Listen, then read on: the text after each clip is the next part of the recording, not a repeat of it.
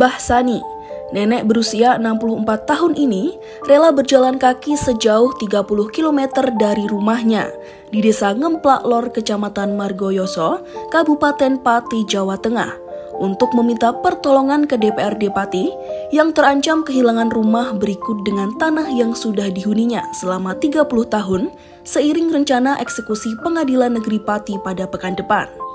Buruh tani yang tercatat sebagai warga miskin penerima bantuan pemerintah ini tetap memperjuangkan tanah yang diklaim absah sebagai miliknya.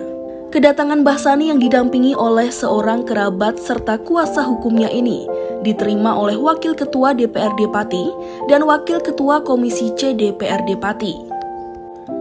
Saat ini pengadilan sudah bersiap melaksanakan pengosongan lahan seluas 1000 meter persegi di atas bangunan rumah kecil yang selama ini ditempati Mbah Sani seorang diri.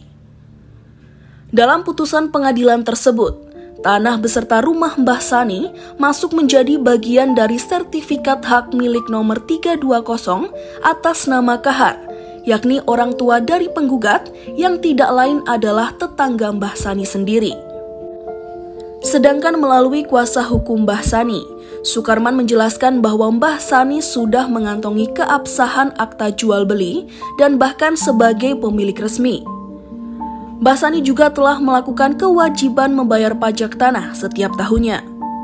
Namun Sukarman heran hal ini berujung mentah di persidangan karena tiba-tiba muncul sertifikat tanah ganda. Sukarman pun kini tengah mengupayakan segala usaha ke Bawas Mahkamah Agung dengan harapan Bawas Mahkamah Agung akan melakukan eksaminasi menelaah apakah putusan pengadilan negeri Pati yang mengalahkan Bahsani sudah sesuai dengan koridor hukum atau tidak. Sementara itu Wakil Ketua 2 DPRD Pati, Hardi, berjanji akan mengawal kasus Mbah Sani hingga tuntas. Dia berharap bisa diwujudkan peninjauan kembali terhadap putusan pengadilan negeri Pati.